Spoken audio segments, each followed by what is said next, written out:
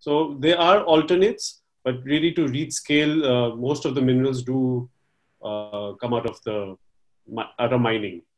So I think the the chemistry evolving will uh, bring in new materials into the spotlight, and everybody is very focused that the minerals be scalable.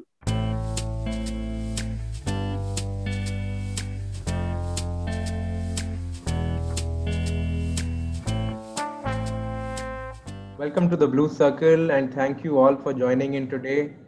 Uh, it's such a big privilege and a pleasure to reconnect with everyone, our distinguished panelists who are handpicked because of the think input and the rich experience they bring in. Uh, some of who have previously joined us even at EVCon India, which was the premier program for leaders in the EV category. And thank you to our distinguished audience for joining us. We've received over 350 registrations and 90% of whom are CEOs, CXOs, and business heads. Many of them are repeat visitors to our webinars.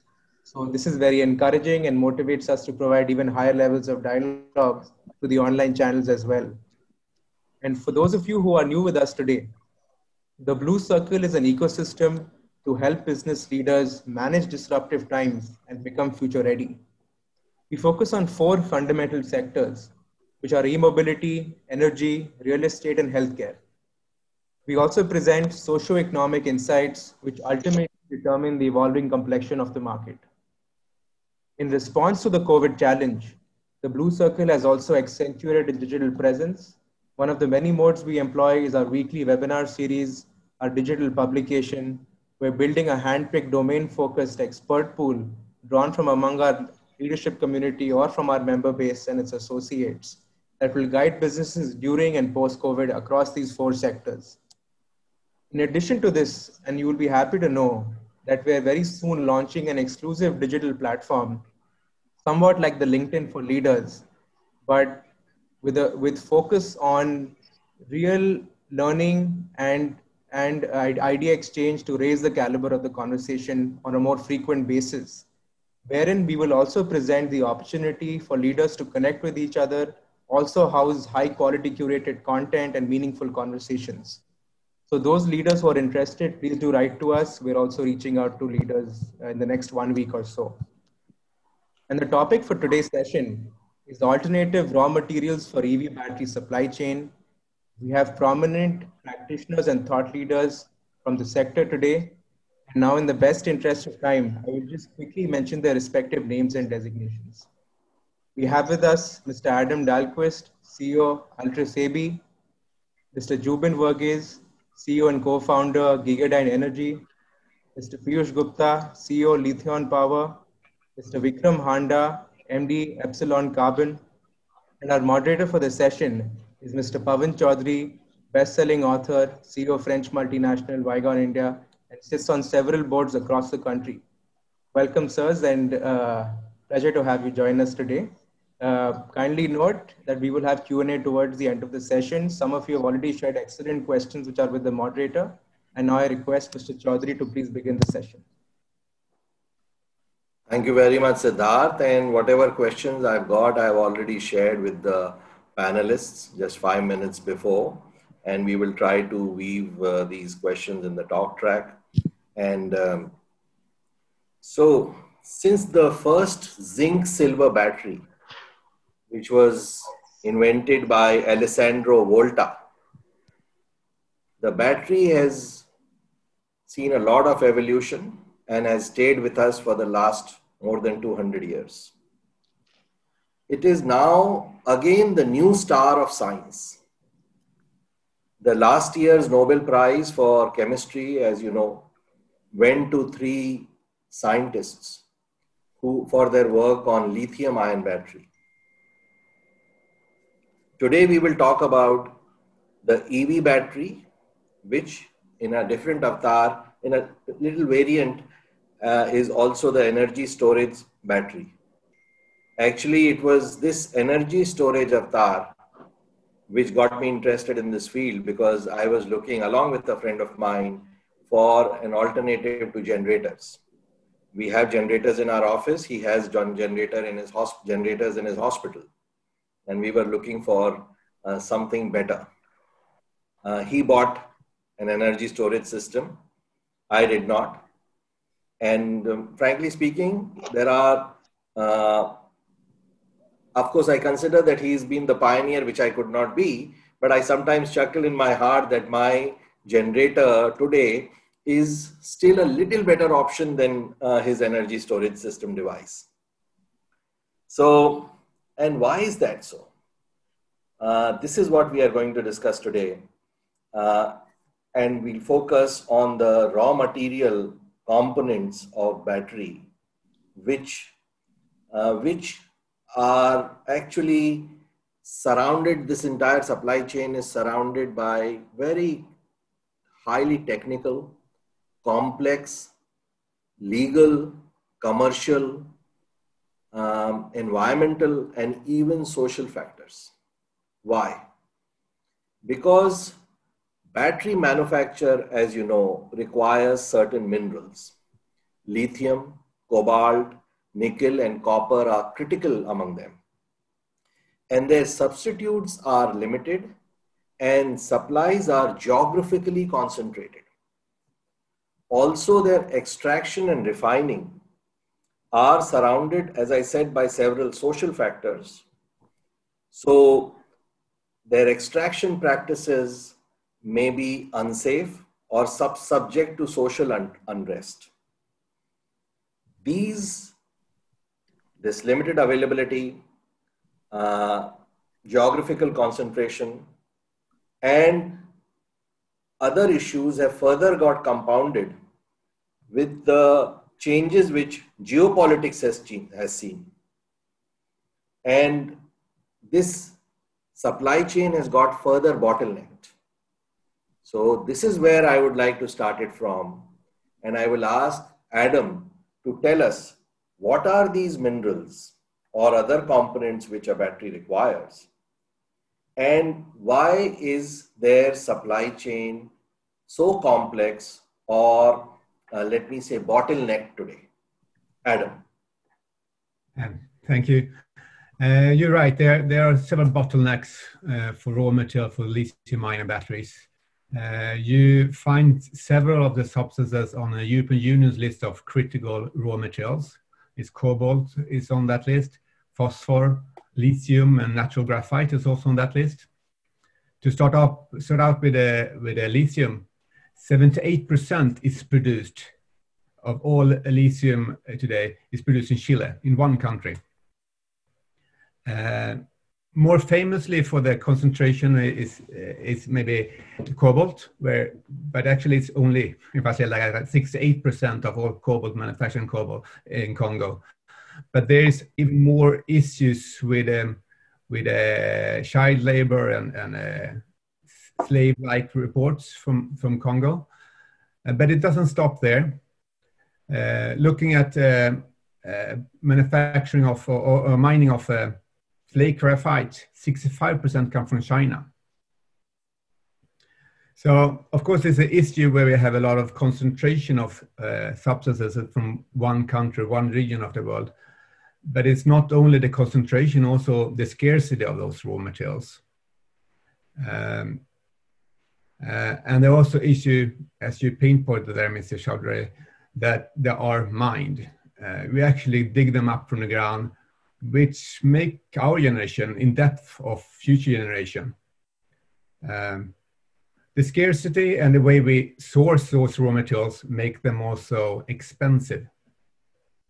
Uh, the, the, the, the, the issue with price will be worse in the future since the demand for batteries will be tenfold the next 10 years. So uh, it is an issue. We need to find other solutions uh, alongside lithium ion batteries to really be able to, supply the battery that the world needs. Um, very well. You said lithium, you, you hinted that lithium is the close, sharpest crimp of this bottleneck. And you also spoke about prices, where cobalt has gone up five times in the last six years, the price has gone uh, that much up. And uh, great points. What would you like to add to this, Vikram? So I, I agree with uh, Adam. You know, the the industry has been evolving and growing exponentially. and we have seen uh, shortage of raw material coming into the supply chain further. And people keep talking about it that in the future also there's going to be a, a shortage of raw materials. I think that's where it's important to, with all the research that's happening and technology evolving, to come up with better chemistries of the of the lithium battery itself or of the battery, I would say. Uh, with the with better chemistries, we can be reliable on uh, different materials, different minerals, maybe that are more easily accessible, cheaper, and can be extracted at scale. Then there are also opportunities on looking at artificial materials. You know, there are other processes of uh, generating uh, certain raw materials for uh, lithium ion batteries. Like Adam mentioned, uh, flake graphite. There's also a process that we do uh, called synthetic graphite. So there are alternates, but really to reach scale, uh, most of the minerals do come out of the out of mining. So I think the the chemistry evolving will bring in new materials into the spotlight, and everybody is very focused that the minerals be scalable the availability. Very good points you, you've made. Uh, artificial material is the point which you, you brought in. And uh, where I would like to say also deep sea mining uh, should, be, uh, should be checked as Japan is doing. So, so, whether the reservoirs of these minerals can be expanded, the reserves. Uh, great points. And Piyush, coming to you, what is it that you would like to add to describe the complexity around the supply chain and the limitations around the supply chain uh, in greater detail? I think uh, I think it's a, it's a very well-known fact. The supply chains are fairly concentrated for lithium-ion batteries right now. You know, we have uh, China probably dominating the entire supply chain, and uh, because of the geopolitical risks, uh, uh, you know, we all feel threatened whether we are in India, whether we are in the US, uh, we all feel threatened by such a concentrated supply chain. But what we need to keep in mind is this industry has gathered pace only over the last five to 10 years, right? If you go back to 2010, you know, people did not really care about lithium ion battery supply chain. People really did not care about lithium. People really did not care about cobalt. People really did not care even about the nickel, except the steel industry, right? So I'm actually not too worried about, you know, when I look at a 20, 10, 20 year perspective, even from a lithium ion supplies, the sources will be diversified. Yeah. Whether, whether it's going to be the cheapest source, I am not so sure. Maybe we will be able to get uh, supplies out of, out of, out of deserts somewhere, out of some, some snow peaks. Yeah. At a 10%, 20% more expensive price. So I'm actually not worried about the supply you know, I often tell people in 1970s, people said there is enough oil for 10 years. Mm-hmm. Yeah. In 1970s, the, the biggest fear the world had was there is enough oil for 10 years. In 2020, we have enough oil for 100 more years. Yeah. So we will have enough lithium. We will have enough cobalt. We will have enough nickel. The world did not need it. Hence, the engineers did not look hard enough. Yeah, now the world needs it. The engineers will start looking hard enough. The businessman will pay extra to get the supply chain. So I'm actually not worried from a from a medium to long term perspective. Yes, from a short term perspective, uh, all the geopolitical risks accentuate the problem. So that's a that's a very different perspective that I have on uh, have on you know the apparent doomsday scenario that world is going to run out of lithium. China is going to ensure India does not get an uh, you know a gram of lithium. I'm, I'm actually not worried about that in a, in a, in a medium to long term perspective at all. Excellent point. And let me add to it also, uh, dwell on it a little more so that uh, we can get into a deeper dialogue around this also. So you have said that based on history, I can be optimistic about the future. And you gave the example of oil. I can give you the example of cop, uh, uh copper. Um, uh, yeah, copper copper reserves were supposed to be supposed to last only 50 years in 1950 100 million tons was the copper reserve today the reserves have been revised and 339 million have been mined already though reserves were only 100 million because copper could be extracted like a, through as an oxide and not just as a sulfide which was the limitation of the technology then So reserves are mineable components of minerals. Reservoirs are the larger component of minerals. Cryolite was a mineral which was used in the manufacture of aluminium. You talked, talked about alternatives. Cryolite we ran out of. But aluminium and better and better quality aluminium we continue to make because we found very good substitutes. I fully agree with that. At the same time, there is another line of thought also, which is also coming from history. That energy, which was uh, controlled by the powers of the world, Churchill creating Iraq so that he had an oil supply supplying nation uh, for his ships which were required in the war which could do better much better than coal fired ship us creating saudi arabia protectorate to protect the oil. China getting into sudan iran and russia getting into the cis countries for oil. It should not so happen that something similar happens for uh, for minerals. And because if that would happen one monopoly would be replaced through a substitute which will also become extremely monopolistic. This is my view uh, and question to you jubin. What would you like to say to this? Uh, first of all, Pavan, thanks for having me. I hope everyone is doing fine in this uncertain time. Uh, you know you got you brought up a very valid point in terms of uh, you know declustering of power or creating artificial pockets of power right uh, and Piyush rightly brought up the point that you know with respect to uh, innovative ideas or innovative solutions coming up to address the need of the hour right? Uh, what we need to focus more upon is that compared to the past right the world has evolved drastically right? And what we notice very frequently is that a particular nation becomes hungry for power and they would go to any extent to make sure that you know the opponent or the enemy not saying that what is happening currently is a good example in, in the borders right? We've seen what what china has done with japan in the past right? We've seen what china has done with multiple countries in the past. I think one of the biggest issue that we have as a country is that we were very late to the entire battery or the ev or the lithium ion race because you know today it's not difficult to set up a manufacturing facility in India for manufacturing a battery. The biggest concern is your supply chain. Unless and until you have a very verified and you know stress-free source in terms of supply chain, you would not be able to compete with China. China sits at a 65% market share in terms of batteries, in terms of battery manufacturing technology, and also the other raw material which is required. Right. So I think, uh, especially for countries like India and the other developing countries who are trying to be independent in terms of their own uh, or trying to create another powerhouse for themselves, I think they should also focus on alternatives to lithium ion.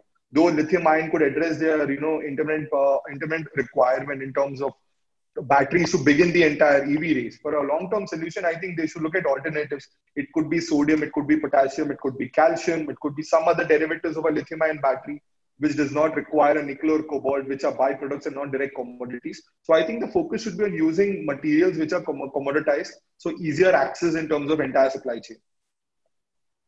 Excellent points. Excellent additions. So uh, you are basically adding to what uh, Piyush said, that it is true that there might be reserves which are not yet found, but it is also possible that they are geographically still concentrated or they could be commercially concentrated. That means the reserve may be in a country, let us say Congo, but it is owned by, let us say, a superpower like China. And that can limit our options. So, so what you have said is that uh, in the geo, uh, what you alluded to, I felt that in the in the changing geopolitics, we should keep our gates open for, if not random offshoring, at least friend shoring of these materials from those countries with which we have a peaceful history as well as, well as maybe similar political dispensation. Uh, and meanwhile, we should look at alternatives. So coming to the alternatives, I'll go back to Adam and I ask him uh, that Please describe the battery as to what are the three components it has, and then tell us what are the what are the alternative raw materials which are emerging on the horizon for batteries. Adam. Yes, um, from a this is a scarcity of raw materials is, is not something new. Uh, research have been looking into this issue for decades. Uh, and uh, one of the elements that is, has been perhaps mo most interest is, is, sodium, but since it's so similar to lithium, uh, and since there are thousand times more reserves of sodium than lithium, and that also reflected on the price. Uh, lithium carbonates cost 30 times more than, than uh, sodium carbonates. Um, so it's it's it's for sure great incentives to do research about that and and find sodium ion batteries as an alternative for lithium ion batteries. Uh, there have been a lot of research. Uh, there may be the most prominent researchers, Nobel Prize winner uh, Prof Professor Goodenough, released the article five six years ago about one uh, sodium ion uh, battery chemistry uh, that is called Prussian White in a research language. At, at, my company, we have, we have named that Fennac. Uh, Fennac has as a cathode material. The cathode is the, the substance, the, part of the battery that decide most of the features for the batteries, uh, most critical part of the battery, more or less. Uh, and this Fennac contains only one, one metal, and that is iron. The origin, original sources for the other elements in Fennac are air, in seawater, and in forest. Uh, when, um, when there were three researchers from Uppsala University here looking, inspired by this article, looking into this, uh, this battery chemistry of Fennac, they saw there were only one missing link to make this commercial, and that was, the, was that it was very expensive to synthesize this, uh, this cathode material. Uh, the method that Professor Goodenough used had needed a lot of heat and a lot of pressure. So he, it works fine to do research about it, to, but to make commercial business about it was not viable. Those Uppsala University uh, researchers found a new way of synthesizing this metal, this cathode metal, uh, at very low temperature and no pressure, using raw material that is very cheap make it a very competitive cathode material. And it was kind of like locking up the last problem issue, making a, a competitive uh, sodium ion battery. Yeah, great. Uh, you were saying something else? Yeah, um, I, for this this uh, this battery is, is is for sure one of several chemistries that battery chemistries that will exist on the market. Uh, there are still lithium ion batteries will be needed for portable electronics, for instance. Uh, at least some of the chemistries there, since they are the highest energy density. But when you have um, other aspects where price is important, where power is important, or where safety is important, then uh, sodium ion batteries is often more a better alternatives. Uh, so I would say that sodium ion battery generally will be the dominant uh, technology on, on stationary storage. Uh, for portable electronics, it will also in the future be lithium ion batteries that will dominate that sector.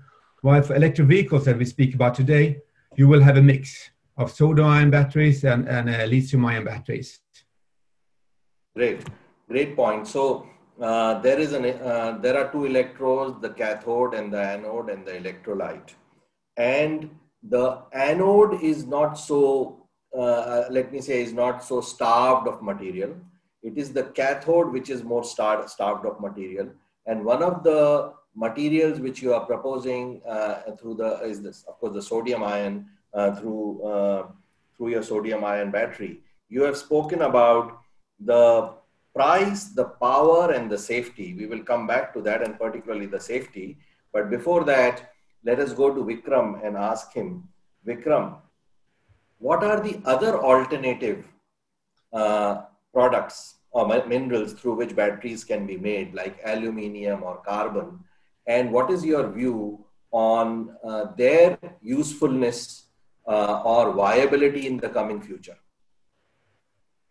So I think Adam touched on a very good point about um, you know different chemistries of the cathode that are evolving, and I think like you said, the cathode is a is a very key product where a lot of development is happening and co- commercialization is happening on that side quicker. I can tell you a little bit about the anode side, uh, which uh, there was a lot of natural flake graphite, like he mentioned earlier, that is being used to make anodes. And there was also technology of synthetic anode that came out of Japan primarily, and which has now been commercialized in China and other parts of the world. So the, the anode journey is going a bit from natural to synthetic so that you can control the product better and give uh, higher specification anode. Now the, the journey of the anode continues uh, with silicon in it, with lithiumization in it. So the anode is evolving as well, but maybe not at the pace of the cathode or the electrolyte. Right, and the anode will always remain a big chunk will be graphite.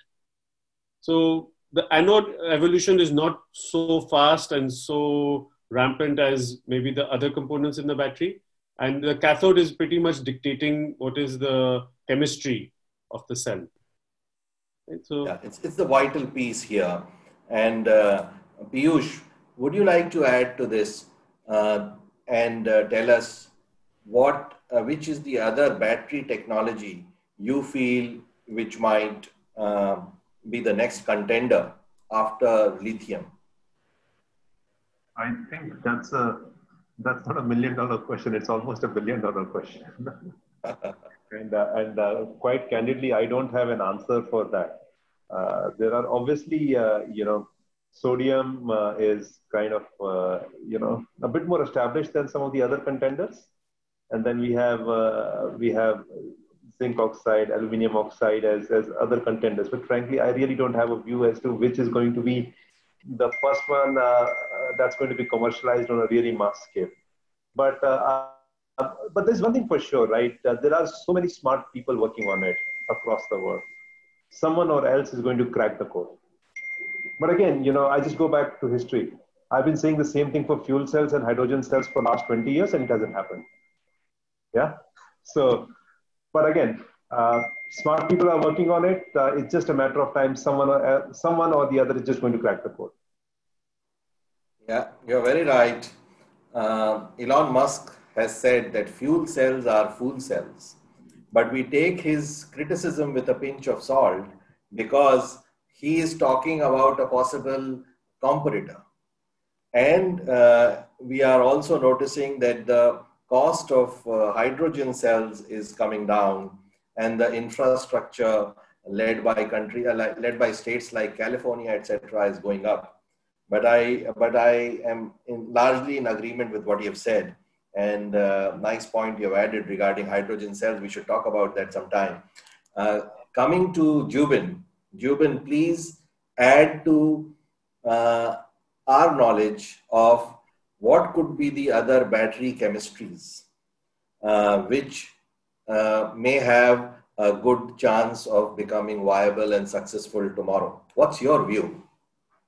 Oh, Pavan, I'm itching to say that's the chemistry that we're developing back at Gegadyne. Uh, but tell me, on tell a, me. yeah, no, but on, on a side note, right? Uh, there's a lot of interest in terms of so we get a lot of queries from people asking, you know, can we have a battery pack? How soon can we get hands on your technology? Why only the OEM channel partners are getting your technology? Why not the retail market, right? Uh, in my perspective, and I, we, we constantly speak with a lot of uh, industry thought leaders and you know veterans in battery space and OEM space, right? Uh, my two cents, and I still think that you know I'm still a smaller fish in the in the ocean of energy storage and energy generation, etc. Right. My two cents is that uh, there's not going to be one-stop solution which will address all your problems. Right. The right way to look at who's going to be the next contender to lithium ion is to develop chemistry which are application specific. For example, if I, I do not require a high energy density battery if I'm using a stationary grid or if I'm doing something for my backup power, right? Their TCO model is more, more important and I need to build a battery which has a longer cycle life. If I'm targeting electric vehicles, if I'm targeting last mile logistics, right? The, the, the, the code over, over there is fast charging high energy density batteries. So it all depends upon what chemistry that we're targeting and what is the application that we're looking to replace to begin with, right? I think one of the most important aspect over here is for us Indians to understand that we do not lose the race like what happened in terms of solar, right? We had a head start with respect to the entire solar race. What happened is Chinese started dumping the solar panels in our market, and then eventually, you know, though we have a good uh, good real estate in terms of capturing solar energy, right? We couldn't just win the race. I think we should learn from our mistakes and what we should focus on, you know, to start, like you mentioned, DG set is a very important aspect that needs to be replaced first in our country, right? Approximately per unit cost of electricity generation, why diesel generator hovers around 15 to 17 rupees a unit, right? The moment you replace that with, let's say, you get batteries into picture, right? You get it down to six to seven rupees a unit. Now, the, the key part of the puzzle is to start introducing solar or renewable energy inside this. Now, if we're able to combine solar with batteries and then start doing this and start, you know, generating electricity, you drop the price as low as one and a half to two rupees. And it is happening in real time. Right today, if you look at the solar pricing across the country, it's come down to as low as two point something, and people are still bidding for those kind of pricing, right? Which means even at those kind of pricing, it is becoming attractive for people to, to put up those kind of solar farms and generate electricity. I think that is a very important puzzle to solve first, not the electric vehicle, not your high energy density batteries. In a country like India, right, one of the biggest thing that we've learned running our business for the past three, four years is that, you know, what Indians want is a robust technology which is built like German, which has a reliability of a Japanese uh, quality, which has a good design like a German, and which is value for money. So it's something like we say. If you are able to crack this code, right, you have a technology which can be scaled anywhere in the world. So if you win the Indian market, it is that much easier for you to go back and expand in global global market. Right? Having said that, I think the next best alternative to a lithium-ion battery would be something which would, would, would, which would have a mixture of sodium along with different ion and carbon would play a main main uh, majority role in terms of defining the chemistry that is going to go forward right like said, if you want to build something which is dirt cheap, you might as well build, build it out of dirt. And what better dirt than carbon to build a te- battery technology? So I think it's going to be a combination of sodium. It's going to be a combination, like I said, of multiple ion that goes around the sodium. Prussian blue is another contender. Prussian white, like Adam is developing, is another good contender for as an alternative uh, to uh, to a lithium ion solution. So I think you know it's going to be a mixture of uh, an alternative ion along with carbon, which, which can give you a longer cycle life and a decent energy density. You know, LFP batteries, lithium iron phosphate batteries were written off completely across the globe. And I'm a high, I'm a big advocate for low energy density, high cycle life battery because I feel, you know, how do you make people start switching from an existing infrastructure to another infrastructure? You need to give them the taste of the new infrastructure, right? You can't expect people to just randomly go and start buying electric vehicle, which costs three to four x in what a conventional uh, car would cost for them to buy. So for them, you need to make the batteries more affordable. Now, one way to do that is to decouple the battery from, from the main vehicle itself. But then there are multiple challenges around it. I think that would work better like a hub and spoke model, maybe for public transportation. And there are multiple, you know, business models which have proved it. So I think with respect to that, that is a good option. But then when you're talking about larger business scale perspective, I think you need to have batteries which are affordable and which have a longer cycle life. So any chemistry which are able to crack these two important pieces will be able to go to commercial that much faster. Excellent. So you have said that uh, you have brought in another angle. You have, you have said that different strokes for different folks. Absolutely. Maybe, maybe this mineral-based battery will be good for these people because they require high energy density, and these people uh, require greater storage. And you have brought in the example of uh, the power supply which is consumed as it is produced. And intermittent sources of power, like sun or wind, etc., do not have enough storage capacity right now. So, right now, basically, the conventional energy we are producing and consuming simultaneously. This is world's largest supply chain. You are saying that supply chain alternatives will be different and because their requirements are different the supply chain of power and the mobility alternatives may be different and uh, uh, that's a great point. and the other point which you brought in uh, i should add to uh, our discussion which was happening between uh, uh, all of us and Piyush that photovoltaic cell also he made a point that substitutes will be found i just remembered that photovoltaic cells required indium and gallium compulsorily till about a few years back. But today, photovoltaic cells are made with silicon. So, which is not a mineral, which is not a rare earth, and it is doing almost as well. Perhaps tomorrow, uh, Swanson's law says that the more you manufacture, the cheaper it will become. Moore's law says the more you manufacture, in other terms, in other words, the more uh, efficient or uh, productive it will become. So I think these things will also roll out there in the EV space. Coming back to Adam. Adam, we would like to know what are the main weaknesses which lithium ion batteries have today? Because that will also point perhaps to the direction as to where the challenger will come from or who can be the next dependable contender in this uh, uh, game of different uh, strokes for different folks. Adam. Thanks. I think it's va- valuable to also look back one one generation before, looking at the lead acid battery, who has the benefit of had really high power to make a combustion engine turn. That that's what they're doing, and that are really strong on still. Uh, and then look at then going over to lithium ion batteries, what they brought to, to the battery sector was the energy density. Uh, make it possible with all those uh, portable electronics we have today. Uh, what have evolved now, uh, partly due to that, that uh, lithium-ion batteries have got economy of scale and, and can address more markets due to lower price. That is that, that new markets sectors have evolved. Uh, together with that, we are trying that we are going, going strongly to phase out fossil energy to renewable energy. We have batteries in many, many more applications. Uh, we have it in electric vehicles and we have it in, in stationary storage. Uh, in those applications, you also need a battery that, that resists temperature changes. And that is the weakness of many of, of, uh, of lithium ion batteries. It's difficult to have, get power in a battery that is minus 20 degrees, for instance.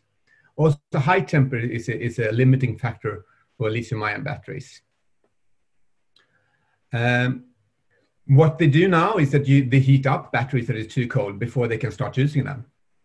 Uh, another issue in many applications that is that is uh, the safety or the safety risk.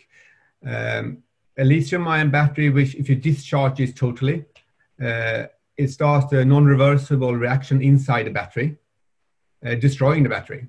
So you cannot discharge a lithium-ion battery totally. That means that you have to transport a charge. And if you have charge in something, it is in some extent dangerous. Uh, that's why it's expensive to transport lithium-ion batteries because it's dangerous goods. But it's not only that that is dangerous lithium-ion batteries. It's also that most lithium-ion cathodes, when there are uh, short circuits inside the battery, they are they are dissolving the, the cathode. And what happens when it dissolves, it produces heat and releases oxygen. And that heat and oxygen is right next to electrolyte that is, it is flammable. So you have heat, you have you have uh, oxygen, and you have something that can that can uh, that can uh, uh that that you have you have um, now I lost the name here. You have something that can catch fire. So it's really difficult to, to turn to to to uh, stop a, a fire in a lithium-ion battery. Uh, that's a clear limitation for many applications, and that's something that is really costly to do engineering solutions around to stop those risks. Uh, to go to the to the to another limitation is in power. Well, as I said before, uh, lead acid have a much higher power. Lithium ion lithium ion batteries have a C rate about one, meaning that it takes as, well, about one hour to, to, to put the energy inside the cell. Uh, that, of course, would be nice to be much quicker if you need application where speed is important. Great points. Great points. And uh, on, on that note, uh, we conclude this round and come to Vikram uh, to ask him what is the scope of graphene there's a question which has come on the scope of graphene. Uh, what is your comment on that, Vikram? Well, uh, you know, this goes back to actually a point that uh, Piyush and Jubin brought before. What is going to be the chemistry of the battery going ahead, of the cell going ahead? And there's a lot of research happening, and no one knows what's going to be the final solution. But uh, the idea that there'll be different uh, chemistries for different applications makes sense. Even what Adam said, uh, certain uh, certain applications require explosion proof, certain uh, uh, applications require long distance, short distance, quick discharge. So the battery chemistry will become very solution uh, application based. So when you come back to graphene as well, uh, again, it is a material that is evolving right now. There's a lot of focus on it, and there's a lot of R&D happening there. But it's still at a very much at a pilot stage. But most of the technology we actually discussed in the last half an hour are quite proven at a pilot stage. So when we talk what is the next technology, it's already out there. You know, it's just not commercialized today, but it's already out there. And we will see it in the next five to eight to 10 years, depending on the speed of adoption, get commercialized. So while today graphite is the most popular anode material, but they, in a solid state battery, they talk about a different kind of anode material. And graphene is another uh, product that they talk about as a possibility. Right. So right. there are a lot of technologies out there that are, I would say, already proven. It's a matter of just taking, scaling it up and making it commercially viable to take it to the market for that application. Which brings us very well to the last part of this discussion, which is what is the way forward then? Now, what you have said and what everybody else has agreed to, uh, optimistically but objectively, based on uh, you have used the light from the history to illuminate the future. So it is not optimism, but I would say it is uh, based on uh, some solid data, which Piyush also brought in before us. So, Piyush, let us begin by asking you what will make many of these potential uh, or some of these potential solid contenders for the battery space succeed? What, what will be that secret sauce? I think uh, in general, in general, uh, you need a very solid backer for a specific technology someone who is willing to bet their house, or in case if it's a government, to bet significantly on uh, on a specific technology. You know, uh, that's that's just what is required. You know, you require a few billion dollars to be put behind a technology to scale it up. Yeah, whether it comes from a private sector player, which is highly unlikely, or it comes from a sovereign, in which case it could be one of the governments which is trying to get away from lithium ion. Uh, that's you know you have five or six technologies which are solving use cases in specific instances and uh, and you know the final contender is going to emerge from one of these these five or six uh, technologies right so someone needs to start you, you know people need to start taking huge bets on these technologies and and, and start investing in it. And uh, one or two of them will be uh, will, will will become big. Yeah? So people need to deploy capital. Uh, without capital you're not going to get gains. Fairly simple capitalist rule. Yeah. So your your view is that uh, a very solid backer has to be there, and uh, hopefully some governments will back this. Uh, another counter or complementary view could be that which are the technologies which have emerged as really big ones with the support just of the government or let me say, aligning myself more reasonably uh, to your point of view, I would say that haven't governments been uh, blamed to be non-thorough and not so good at uh, allocation of resources. Uh, so the policies which they make sometimes are unpredictable. The organizations they create sometimes are not so efficient. Uh, so what would the rest of the group feel about what Piyush has said? And I have uh, taken uh, Piyush's point, uh, one point from his argument. There are several other points which he have made, and I'm accentuating it a little just so that a dialogue can happen and complementarities of the valid point which Piyush has made also can emerge. So going to Jubin for that. Jubin, what is your view? that will, will the success of what becomes commercially viable depend in a big way on governments? I have a, a, I have a slightly different view on that, right? I believe that uh, if throwing dollars at a problem could fundamentally solve a problem, then you know we would have already found the next big thing to lithium ion or for that matter of battery technology per se, right?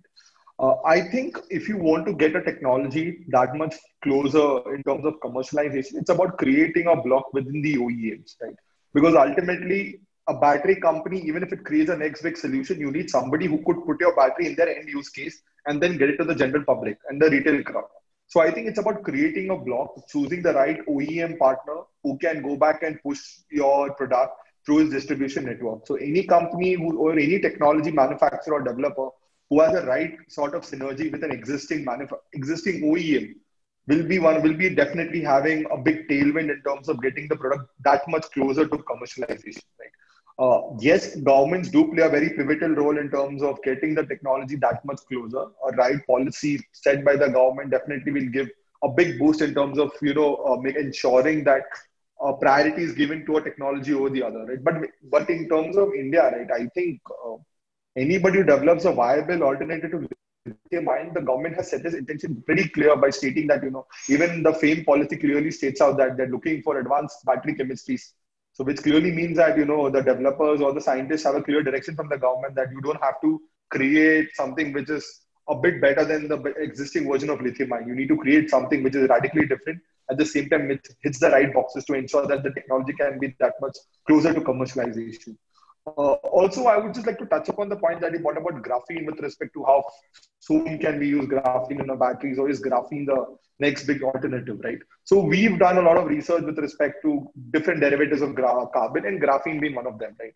Now the challenge with graphene is that you know one of the many reasons why people are so excited about using graphene inside a battery is because the energy density. Theoretically, it has around close to 500 watt per kg. That would potentially solve a lot of problems when you talk about high energy density batteries, right?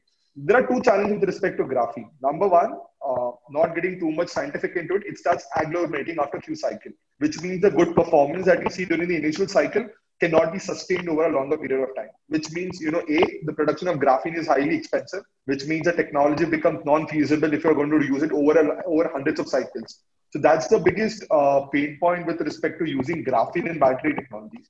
Uh, B, the entire process of manufacturing graphene itself is also very expensive, right? People use Hummers method along with a couple of other methods to produce graphene, but still there is no technologically or commercially feasible method that can be used at scale to produce graphene, which can comp- compete with graphite or any other alternative material to make it that much more economically feasible in terms of uh, getting the battery closer to commercialization.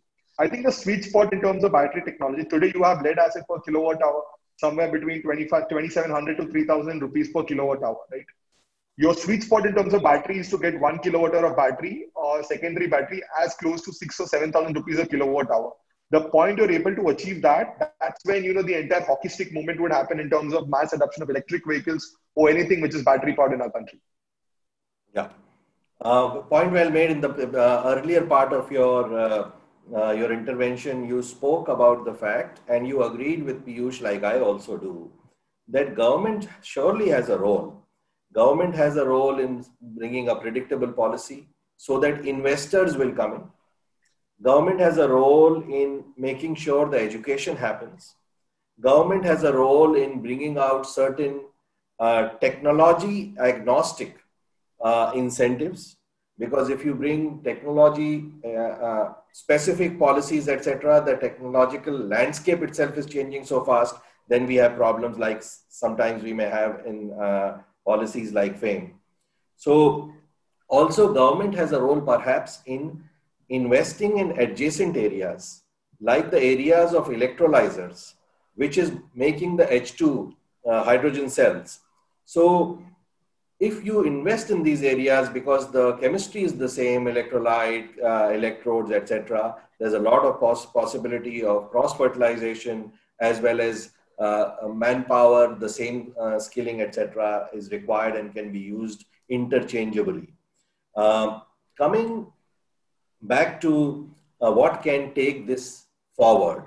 What can what will what will be the critical elements which will uh, take the commercialization of a new potential play, uh, player forward is my question to Adam now.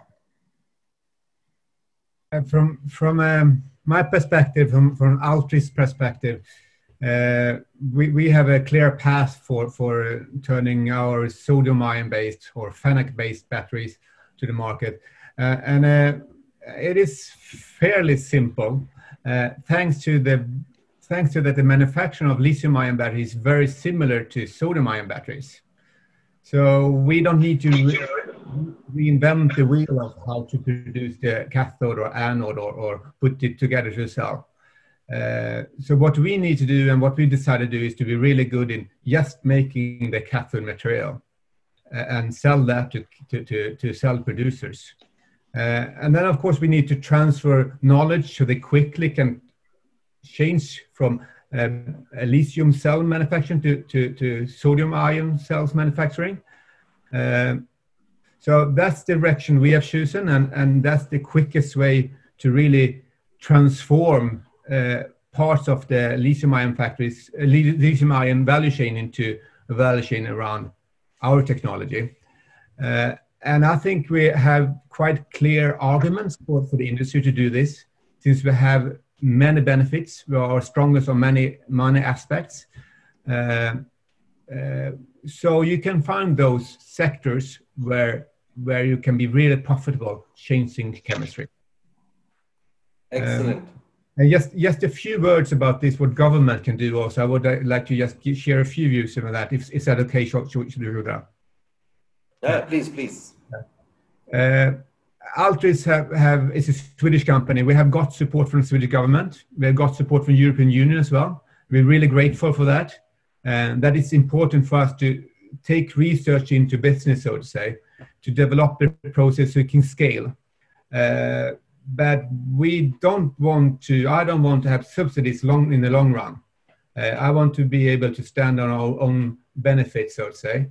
Uh, however, I think that what government need to do is to make sure that the cost of um, mining has the right price. Uh, Swedish government don't take any cost from a mining company, so I'm throwing stones in glass house here. But um, but I think governments need to actually take the price, uh, so it's not so cheaply to mine things that are scarce. Excellent points. You have said that success will depend upon how easily the existing manufacturing capability of lithium ion batteries can switch over to sodium ion batteries. Because if the cost of switchover is too much, then the sunk cost will delay the, uh, the, the reception to sodium ion batteries.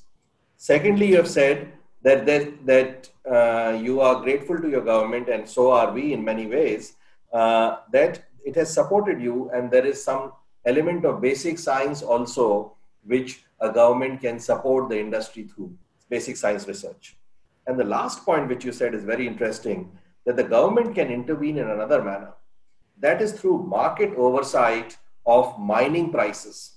That means mining prices should not become monopolistic or um, too, uh, too mysterious, you know, uh, clouded in secrecy.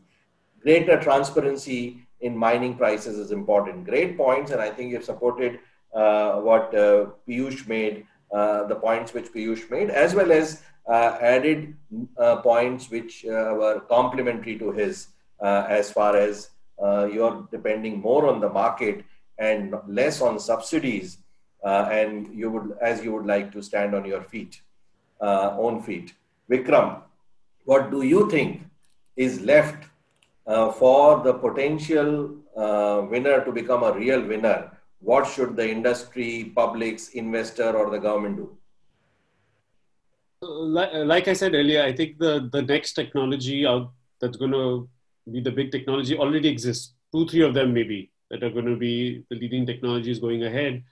And um, the, the one issue, not issue, the one scenario that everyone has to recognize while we can keep talking about alternate technologies is that there are already about a thousand gigawatt hours of mega factory, gigafactories that are already announced and under construction. So that's billions and billions of dollars that are already being deployed and uh, are going to come up in the next four to five years globally. And a lot of them are in Europe and a lot of them are in US as well. So when you have so such a big investment, you can't just write it off and say, okay, now this technology looks better. I'm going to start making this. So it's going to take even though as we move from say uh, a technology to commercialization, it's going to take time for it to reach that scale because again you're going to have to invest a lot of money if it's a totally different technology. But coming to what Adam said, if it's a technology that's easily adaptable, then the transition to a new technology might be quicker. Right? Excellent back, point. Sorry. Yeah. Sorry, go ahead. Go ahead. Going back to the government point, you know how we started our discussion earlier was should we be looking at friendly nations or how to explore uh, securing raw material to be able to scale up India's uh, journey in the EV sector? I think it's uh, it's very important that one thing is government being active in securing raw material for this journey. The other thing is government investing in the next technology, what Jubin brought up. So there are two different aspects where money has to go in, and a lot of the easiest person who has the money to do this and in their own interest is the government, right? So I think a lot of minerals that we talk about in the short term in the lithium ion supply chain are available in India, but again, mining is not such a focus, and there's not such a focus to explore what is available within our own country and make us self reliant. At the same time, we're not investing.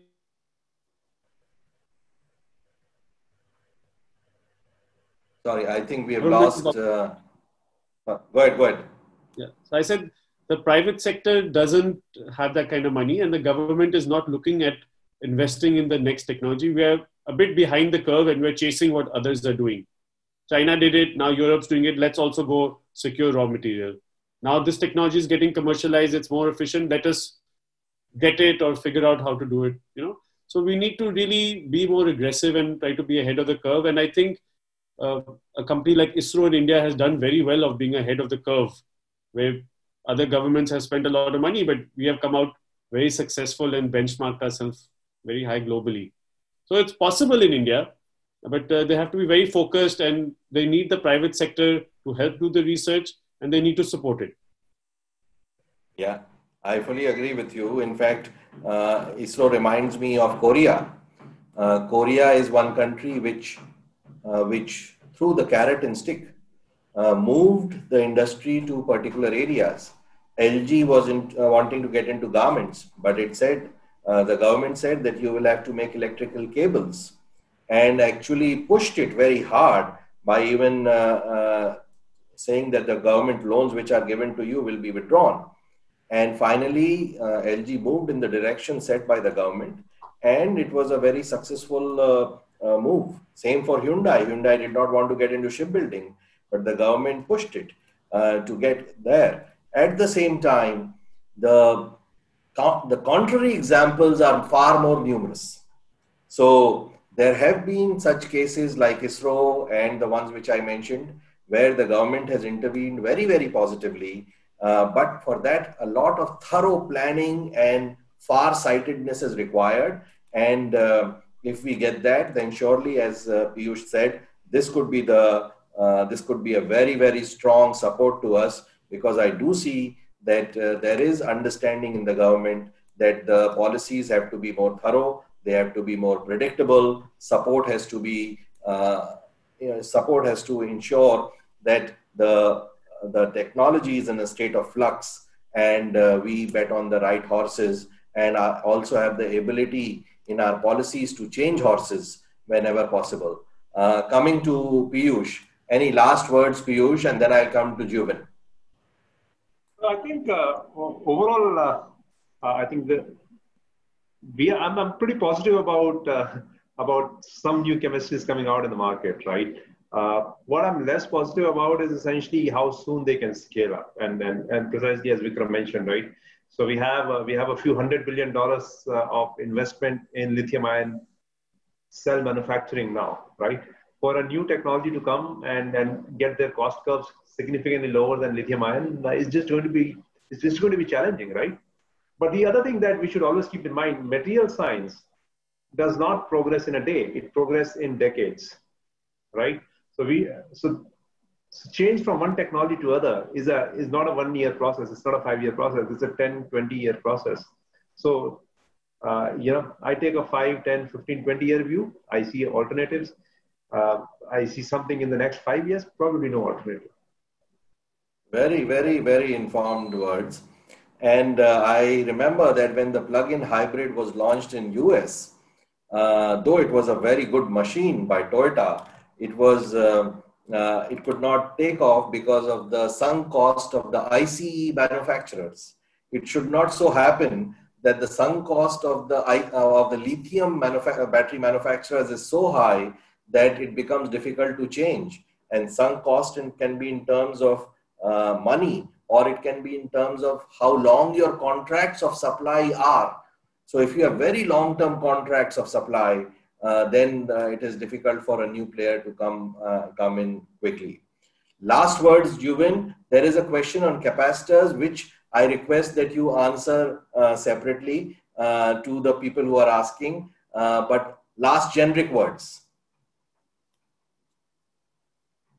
I mean, the panel has already covered uh, everything with respect to right from you know uh, the entire value in the supply chain, right from the next big solution in terms of battery technology to the challenges that a potential technology could face and the role of a government would play in terms of scaling up the new technology, right? I think uh, that pretty much sums up what I have to say as a panelist in terms of the uh, the next big thing or the holy grail in battery technology, right? But I kind of resonate with what Adam has said, right? Um, ensuring that uh, your new technology is not fundamentally reinventing the wheel, but rather reinventing the way we power the wheel would be a much quicker way to get a technology closer to commercialization. Right? Another important aspect that at least we've understood through our development process is that you know you cannot have a perfect chemistry ready and then go for commercialization. Right? Two important aspects that needs to be noted before you get anything closer to the market is that is the battery safe for a daily use? Right? When I say daily use, is the battery safe if your family members has to use it on a daily basis if that is the first box that you tick i think rest everything follows right? Because safety is the most important aspect of battery technology. Like adam mentioned 30% is the state of charge in a lithium ion while it is being transported.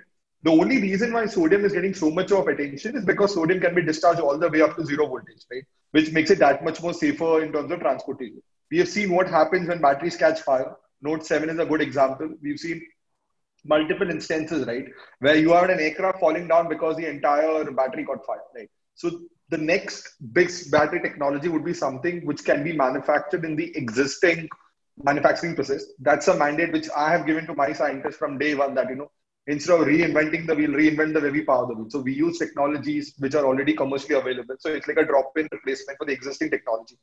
Second very important aspect in terms of getting a technology closer to commercialization is the safety aspect and recyclability of the entire battery. Right, the second life or end of use for battery is a very important aspect, which is still at a very nascent stage. Today, when you recycle a battery, you get anywhere close to seven to thirteen percent in terms of extraction.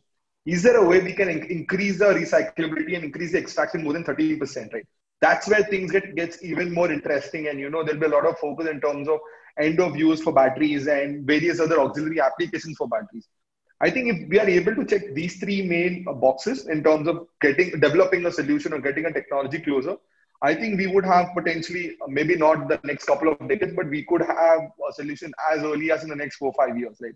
So we I speak to a lot of people from Eurobat, and there are pretty much very new interesting chemistries coming up. Even derivatives of lithium-ion battery. Right? For example, NCA the, the, the entire percentage of other elements in an NCA battery is very less compared to an uh, LFP or an LMO or uh, an NMC, right? So you can also reduce the uh, uh, constitution of a particular metal in a lithium-ion battery and thereby make it much more environmentally friendly and much more environmentally safe. Very good.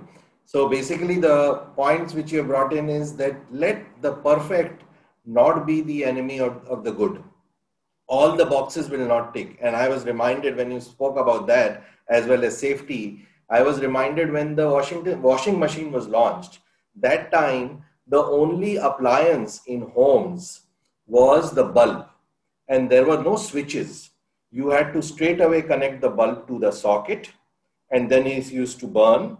And the switch idea had not come. And then when you wanted to uh, to put it off, you had to use a cloth and uh, unturn the bulb and uh, that's how it used to be so when the washing machine was launched they felt this is how the washing machine will also connect into that socket. But they realized very soon that when the woman is connecting the washing machine like that to the socket her hair is getting caught in the washing machine and you know there's damage happening.